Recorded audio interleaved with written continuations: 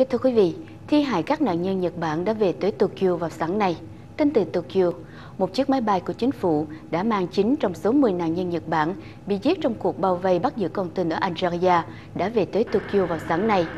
Bảy người sống sót cũng đã về nhà trên chiếc máy bay này. Các quan tài của những người chết đã được nghiêm trang đưa xuống máy bay, trong khi những người đứng xung quanh đã dành một phút im lặng để vinh danh các nạn nhân các quan chức chính phủ và những người đưa tiễn đã đặt những bó hoa trắng trên các quan tài như là một dấu hiệu của sự tôn trọng dành cho những người đã bị thiệt mạng trong cuộc tấn công khủng bố tồi tệ nhất đối với người Nhật Bản ở nước ngoài kể từ các cuộc tấn công ở Hoa Kỳ vào ngày 11 tháng 9 năm 2001.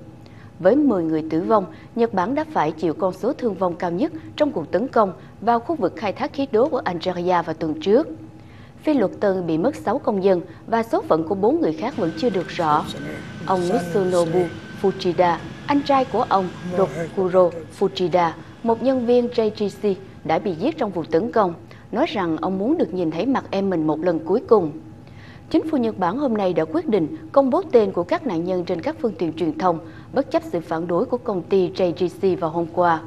Chánh văn phòng nội các Nhật Bản, ông Yoshihide Suga cho biết đây là một quyết định khó khăn, nhưng với sự trở về nước của các thi hài, chính phủ nghĩ rằng đây là thời điểm thích hợp để công bố tên của những người quá cố.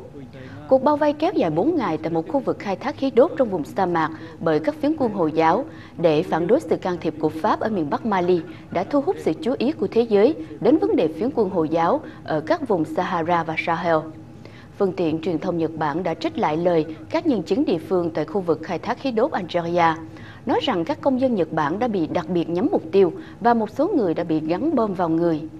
Phương tiện truyền thông Nhật Bản đã suy đoán rằng cuộc tấn công đã được sắp xếp trong thời gian cho trùng với sự hiện diện của các giám đốc điều hành của các công ty nước ngoài, bao gồm cả cựu phó chủ tịch của công ty JGC là ông Tadanori Aratani, là một người Nhật Bản cuối cùng đã được xác nhận là đã bị thiệt mạng thi hài của ông sẽ được đưa về nước trên một chuyến máy bay thương mại vào cuối tuần tới.